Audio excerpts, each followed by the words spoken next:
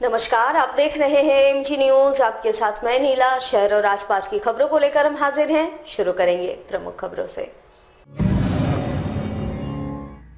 हेमंत सोरेन की अगुवाई वाली महागठबंधन की सरकार में मंत्रिमंडल का हुआ विस्तार। आज राजभवन में महामहिम राज्यपाल महोदया ने दिलाई मंत्रियों को पद की शपथ। विद्या की देवी माँ शारदी की आराधना की तैयारियों में जुटा शहर, चौक चौराहे या गली मोहल्लों तथा घरों में कल होगी माँ शारदे की पूजा।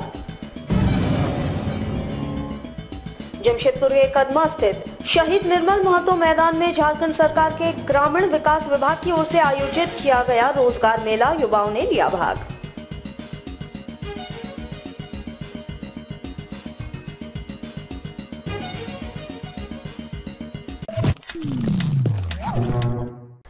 खबरें विस्तार से। आज राजधानी रांची के राजभवन में महागठबंधन के हेमंत सोरेन की सरकार में मंत्री पद के विस्तारीकरण का काम संपन्न हुआ। इस दौरान महामहिम राज्यपाल श्रीमती द्रौपदी मुर्मू ने झामुमो के पाँच, कांग्रेस के दो विधायकों को मंत्री पद की शपथ दिलाई। झामुमो से हाजी हुसैन अंसारी, चंपई सोरेन, जगन्नाथ महतो, जोबा माझी और मिथिलेश ठाकुर ने शपथ ली। वहीं कांग्रेस से बन्ना गुप्ता और बादल पत्रलेख ने मंत्री पद की शपथ ली। विद्या की देवी माँ शारदे की आराधना को लेकर तैयारी अंतिम चरण पर है। शहर का चौक चौराहे हो या गली मोहल्लों, हर जगह माँ सरस्वती की आराधना को लेकर तैयारियाँ जोरों पर है। वहीं माँ की मूर्ति की बिक्री भी जोरों पर है। शहरी इलाका हो या ग्रामीण क्षेत्र का स्कूल एवं कॉलेज या शिक्षण संस्थान, हर जगह से लोग शहर पहुँचे, माँ सरस्वती मूर्ति की खरीदारी में जुटे रहे। वहीं लोगों ने जमकर पूजा की खरीदारी की और पूजा की तैयारी लगभग उन्होंने पूरी कर ली। हालाँकि महँगाई का असर पूजा कमेटी और मूर्तिकारों पर भी पड़ रहा है। 500 से लेकर हज़ारों हज़ार की मूर्तियों की बिक्री जोरों पर है। वैसे माटी कला बोर्ड के गठन होने के बाद भी इन कुम्हारों का दिन नहीं लौटा है। आज भी मोटी रकम देकर मिट्टी लानी पड़ रही है। अच्छा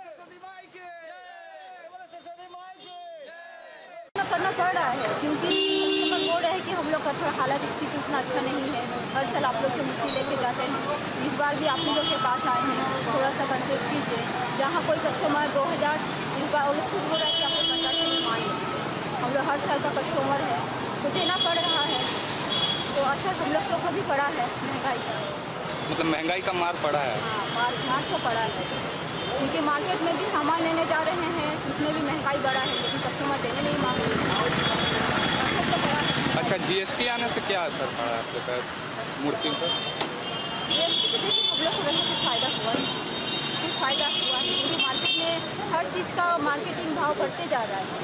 मूर्ति का सामान का भी बढ़ते जा रहा है। लेकिन हम लोग को मूर्ति के हिसाब से जो पैसा देना चाहिए वैसा मिलता नहीं।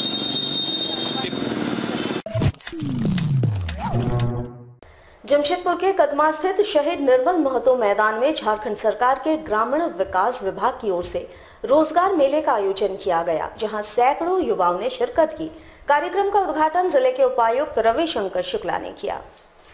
इस दौरान जिला परिषद के अध्यक्ष बुलू रानी सिंह, उपाध्यक्ष राजकुमार सिंह, जिला नियोजन पदाधिकारी सहित दर्जन भर कंपनियों के अधिकारी एवं पदाधिकारी शामिल थे।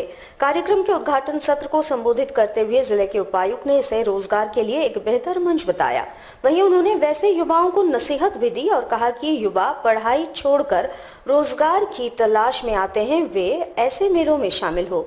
उपायुक्त ने कहा कि इस मेले में स्थानीय कंपनियों को प्राथमिकता दी गई है ताकि स्थानीय युवाओं को रोज़गार के लिए शहर से बाहर नहीं जाना पड़े। साथ ही उन्होंने बताया कि आदिवासी युवाओं को प्राथमिकता देने का निर्देश दिया गया है।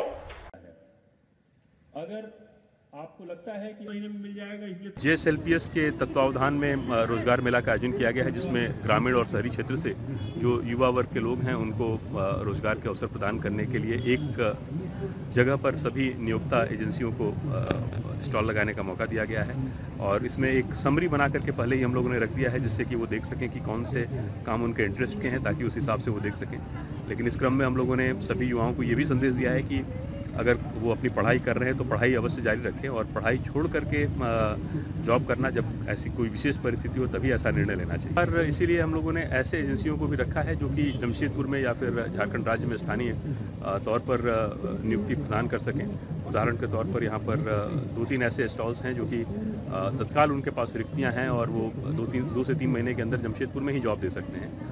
तो मैं पूरा हमें भरोसा है कि उसका भी लाभ यहाँ के स्थानीय युवा उठाएँगे। एक तरफ़ जहाँ देश भर में एनआरसी और सीएए कानून को लेकर बवाल मचा हुआ है, वहीं दूसरी ओर युवा कांग्रेस की ओर से देश भर में एनआरयू यानी नेशनल रजिस्टर ऑफ़ अनएम्प्लॉयमेंट लागू किए जाने की मांग को लेकर देशव्यापी आंदोलन शुरू किया गया है। इधर जमशेदपुर में भी युवा कांग्रेस की ओर से एक अभियान चलाया गया, जहाँ इनके द्वारा विरोध प्रदर्शन करते हुए आरोप लगाया गया कि देश को एनआरसी और सीएए के नाम पर उलझाने के बजाय केंद्र सरकार नेशनल रजिस्टर ऑफ़ अनएम्प्लॉयमेंट की दिशा में पहल करे। इन्होंने केंद्र सरकार पर बेरोजगार युवाओं को ठगने का आरोप लगाया और कहा, केंद्र सरकार बताए कि आखिर कब तक कितना रोज़गार उनके द्वारा दिया गया है? वहीं प्रदर्शन के दौरान युवा कांग्रेस की ओर से इस मुहिम से जुड़ने के लिए एक नंबर जारी किया गया है। इस नंबर पर मिस कॉल देकर इस अभियान से जुड़ा जा सकता है। जिस तरह देश में धर्म के नाम से देश को बांटने की कोशिश की जा रही है एनआरसी सीए सीएबी के नाम पे तो आज का जो बेरोजगारी का आंकड़ा है, वह इतना बढ़ गया है इसको लेकर युवा कांग्रेस एनआरयू लाई है। NRU national register of unemployment है, जो युवाओं को कितने देश में युवा बेरोजगार हैं, इसका एक डाटा तैयार करने की हम लोग मांग कर रहे हैं कि देश में आज जो नरेंद्र मोदी की सरकार बनी थी, उसमें उन्होंने कहा था कि भाई हम 2014 में हर एक वर्ष दो करोड़ नौकरियाँ देंगे। मगर आज तक एक भी लोगों को नौकरी नहीं मिली है बहुत कम संख्या में नौकरी है और जमशेदपुर जैसे औद्योगिक शहर में जहाँ नौकरियाँ थी, वो नौकरियाँ खत्म हो गई है। आज यहाँ पर तीन चार लाख लोग बेरोजगार हो गए अगर जो युवाओं का हक है रोज़गार का, उसके बारे में सोचे, न कि एनआरसी के बारे में सोचे। भोजपुरी नव चेतना मंच की ओर से पहली बार भोजपुरिया क्रिकेट लीग का आयोजन किया जा रहा है, जिसमें अधिकतम 32 टीमें हिस्सा लेंगी। आठ आठ ओवर का ये मैच खेला जाएगा, जबकि फाइनल मैच 10-10 ओवर का खेला जाना है। इसमें विजेता टीम को इक्यावन हज़ार और उप विजेता टीम को पच्चीस हज़ार नगद पुरस्कार राशि दी जाएगी। इसके अलावा मैन ऑफ़ द मैच और मैन ऑफ़ द टूर्नामेंट का भी पुरस्कार दिया जाना है। आयोजकों ने बताया कि फाइनल मैच दुधिया रोशनी में आयोजित की जाएगी। वहीं भाग लेने वाली टीमों के लिए एंट्री फ़ीस 2500 रखी गई है। भोजपुरी चेतना मंच की ओर से भोजपुरी भाषा को बढ़ावा देने और युवाओं को फिट रखने के उद्देश्य से इस क्रिकेट लीग का पहली बार आयोजन किया जा रहा है। और मैन ऑफ़ दी सीरीज़ का पुरस्कार रखा श्री नरेंद्र भाई मोदी जी के फिट इंडिया से प्रेरित होकर के झारखंड में पहली बार भोजपुरी नवचेतना मंच के द्वारा भोजपुरिया क्रिकेट लीग जिसको हम लोग नाम दिए हैं बीसीएल टूर्नामेंट का आयोजन किया जा रहा है। इसमें अधिकतम 32 टीमें हिस्सा ले रही है और इसका मुख्य उद्देश्य है हम लोगों को अपने भाषा के प्रति लोगों को जागरूक करना लोगों को सम भोजपुरी भाषा को समृद्धशाली बनाना और कहीं न कहीं जो आज के युवा पीढ़ी जो नशा में नशा के तरफ़ अग्रसर हो रहे हैं उनको खेल के तरफ़ उनको युवाओं के जोड़ने का प्रयास किया जा रहा है। हम लोग का फाइनल प्राइज जो है रनर फाइनल प्राइज जो है इक्यावन हज़ार रुपया है रनर का प्राइज जो है पच्चीस सौ रुपया है। पच्चीस हज़ार। पच्चीस हज़ार रुपया है और एंट्री फ़ीस पच्चीस सौ रुपया है। 19 जनवरी से लेकर 21 जनवरी तक चलाए गए पल्स पोलियो अभियान में बेहतर कार्य करने पर एनसीसी कैडेटों को प्रशस्ति पत्र व मेडल देकर ज़िले के सिविल सर्जन ने उन्हें सम्मानित किया और आगे भी उनसे इसी तरह समाज व देश हित के लिए कार्य करने की उम्मीद जताई। राष्ट्रीय पल्स पोलियो टीकाकरण अभियान 19 जनवरी से 21 जनवरी तक चलाया गया, जहाँ इस अभियान में पूर्वी सिंहभूम ज़िले से एलबीएसएम कॉलेज के एनसीसी कैडेटों को विशेष टास्क दिया गया था, जहाँ एनसीसी कैडेटों ने दिन रात एक कर इस जिम्मेवारी को बेहतर तरीके से निभाया। वहीं इनके कार्य से प्रभावित होकर ज़िले के सिविल सर्जन माहेश्वर प्रसाद ने एलबीएसएम कॉलेज के एनसीसी कैडेटों को बेहतर कार्य के लिए प्रशस्ति पत्र और मेडल देकर सम्मानित किया। इस अभियान में एनसीसी कैडेट्स 60 घंटे मेहनत कर चलती ट्रेन से एक स्टेशन से दूसरे स्टेशन जाकर बच्चों को पल्स पोलियो की खुराक देकर फिर लौटकर अपने गंतव्य स्थान पर जाते थे, जो कि अपने आप में बहुत बड़ी बात है। एनसीसी के कैडेट ने अपनी भूमिका आगे बढ़ के इस तरह से निभाया कि पूरे इस तरह का जो रेलवे स्टेशन पे हम लोग जो बच्चों को पोलियो पिलाते हैं, पूरे झारखंड में हमें लगता है कि यह पहला ज़िला है जहाँ पर एनसीसी के कैडेट ट्रेन में, आने जाने वाले ट्रेन में, अगले स्टेशन तक के जाते हैं। वहाँ रनिंग ट्रेन में बच्चों को पोलियो पिलाते हैं और लगभग साठ घंटा लगातार ये लोग अपनी सेवा देते हैं। निश्चित रूप से इनकी भूमिका, इनका कार्य सराहनीय है और हमारे यहाँ से पोलियो भाग गया है। लेकिन अभी भी हम पड़ोसी देशों में कुछ कहीं ना कहीं पोलियो के केस पाए जाते हैं, इसलिए हम लोग अभी भी नेशनल इम्यूनाइजेशन डे के रूप में पोलियो की खुराक पिलाते हैं। इस बार उन्नीस को था और हमारा अचीवमेंट लगभग 101 परसेंट, पॉइंट सेवन परसेंट हुआ है। बीते दिनों चाईबासा में पत्थलगढ़ी के नाम पर हुए नरसंहार को लेकर आदिवासी सुरक्षा परिषद की ओर से जमशेदपुर के करंडी में एक दिवसीय धरना प्रदर्शन कर सरकार से पीड़ित परिवारों को मुआवजा, साथ ही दोषियों पर कड़ी से कड़ी कार्रवाई किए जाने की मांग की गई। धरना प्रदर्शन में उपस्थित प्रदर्शनकारियों ने चाईबासा में हुए पत्थलगढ़ी नरसंहार की जमकर निंदा की, जहाँ मारे गए लोगों के आश्रितों को 10-10 लाख रुपए मुआवजा दिए जाने की मांग की गई। इतना ही नहीं, उन्होंने आरोप लगाया कि राज्य में विरोधी ताकतों द्वारा आदिवासियों को आदिवासी से लड़ाया जा रहा है। वहीं धरना प्रदर्शन का नेतृत्व कर रहे सुरक्षा परिषद के अध्यक्ष रमेश हाजदा ने बताया कि सरकार को इस मामले में हस्तक्षेप कर कड़ी से कड़ी कदम उठाने की ज़रूरत है। उन्होंने कहा, आदिवासी सुरक्षा परिषद के द्वारा फ़िलहाल एक दिवसीय धरना प्रदर्शन कर अपनी बातों को राज्य सरकार के समक्ष उठाया जा रहा है। भविष्य में इस मामले में सरकार के रुख का इंतज़ार किया जाएगा, उसके बाद समिति आगे की रणनीति तय करेगी। सुरक्षा परिषद की ओर से आज बीते दिनों जो चाईवासा में आदिवासियों का नरसंहार हुआ उसके विरोध में उस घटना की निंदा करते हुए ये धरना में आज हम लोग बैठे हैं मृतकों के समर्थन में। और सरकार से मांग करते हैं कि मृतक के आश्रितों को दस लाख रुपया मुआवजा दिया जाए। और ये पत्थलगढ़ी के नाम से जिस तरीके से आदिवासी आदिवासियों को लड़ाने का जो मामला सामने आ रहा है। इसको अविलंब, इसको कठोरता से इसको निपटारा किया जाए। इसी मांग को लेकर के आदिवासी सुरक्षा परिषद एक दिवसीय धरना में आज यहाँ जमशेदपुर के साक्ची स्थित विवेकानंद हाई स्कूल की लापरवाही सामने आई है, जहाँ कक्षा तीन में पढ़ने वाले छात्र कार्तिक नाग खेल के दौरान गिरकर घायल हो गया। वहीं घायल छात्र को स्कूल प्रबंधन द्वारा इलाज के लिए अस्पताल ले जाने के बजाय परिजन को इसकी सूचना दी गई और अपना पलरा झाड़ लिया गया। उधर जैसे ही छात्र का पिता स्कूल पहुँचा, अपने घायल पुत्र को देखकर पिता हैरान रह गया। इतना ही नहीं, स्कूल प्रबंधन द्वारा सहानुभूति दिखाने के बजाय पिता को ही फटकार लगाकर अस्पताल ले जाने की नसीहत दी गई। उधर पिता अपने घायल पुत्र को लेकर एमजीएम अस्पताल पहुँचा, जहाँ उसका इलाज करवाया गया। बच्चे के सिर पर गंभीर चोट आई है, उसे तीन टाके भी लगाए गए हैं। घायल बच्चे का परिवार ह्यूम पाइप इलाके में रहता है। ऐसे में बड़ा सवाल ये उठता है कि क्या ऐसे मामलों में आखिर स्कूल प्रबंधन की जिम्मेवारी नहीं बनती थी कि बच्चे को इलाज के लिए सबसे पहले अस्पताल ले जाया जाए?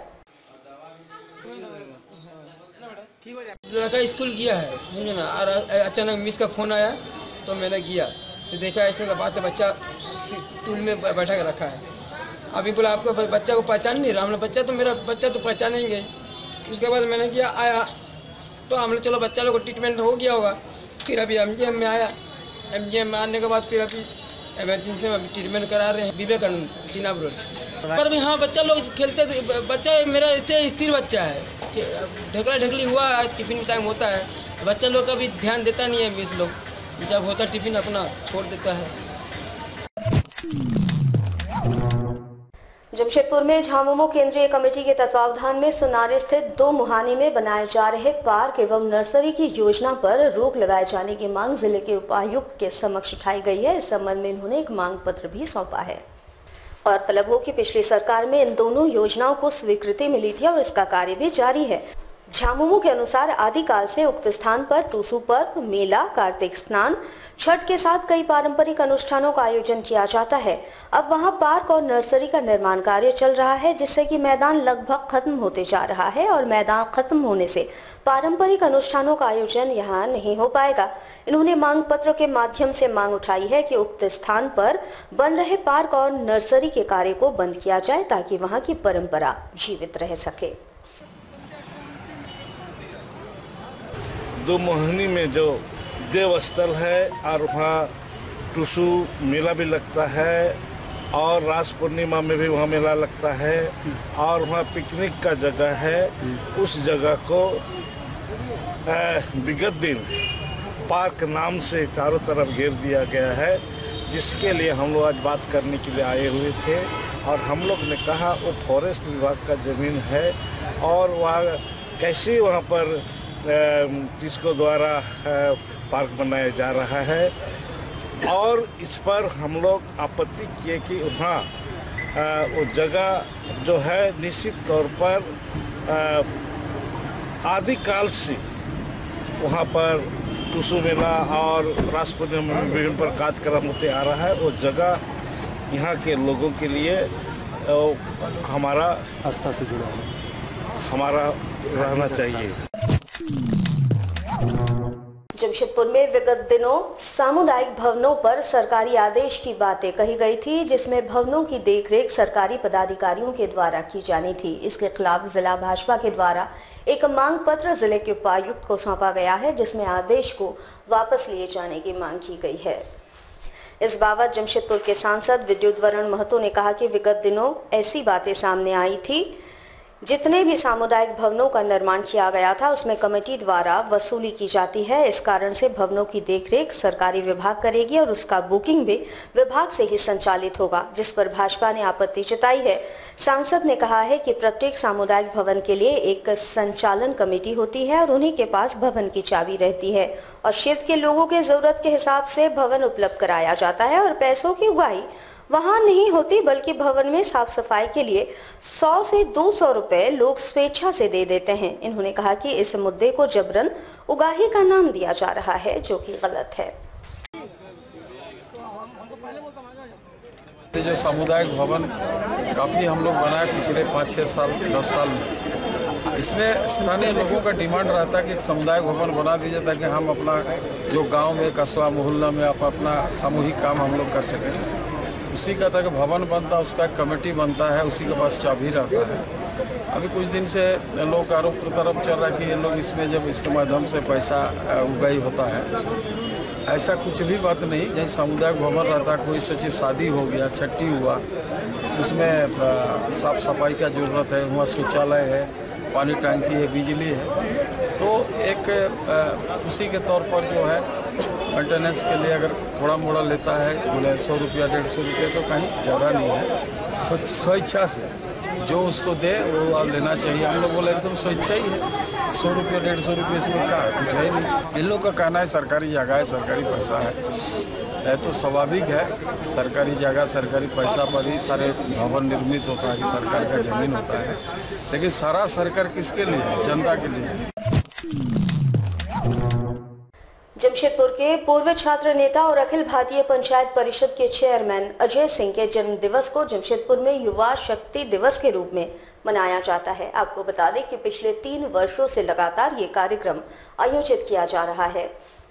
इस साल चौथी बार ये कार्यक्रम बिष्टुपुर के जी टाउन मैदान में आयोजित किया गया, जहाँ राज्य भर से अजय सिंह के करीब पाँच हज़ार समर्थकों के जुटने का अनुमान है। आयोजकों का कहना है कि इस कार्यक्रम के माध्यम से युवाओं को समाज की मुख्य धारा से कैसे जोड़ा जाए, इसका संदेश दिया जाना है।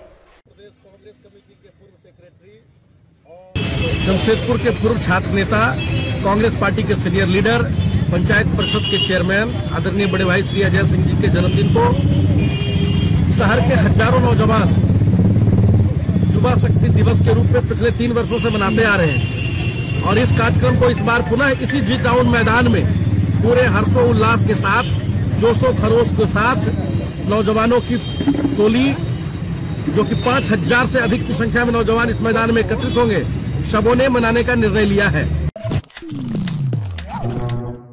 हमारे साथ लगातार जुड़े रहने के लिए आप हमें YouTube पर ज़रूर सब्सक्राइब करें। अगर आपके पास कोई सूचना या समाचार हो या फिर आप हमारे न्यूज़ चैनल में विज्ञापन देना चाह रहे हो तो हमारे स्क्रीन पर चल रहे इस नंबर पर हमारे साथ ज़रूर संपर्क करें। आज के लिए बस इतना ही। कल आपसे फिर मिलेंगे कुछ नई खबरों के साथ। तब तक के लिए एम न्यूज़ की पूरी टीम को दीजिए इजाज़त। नमस्कार।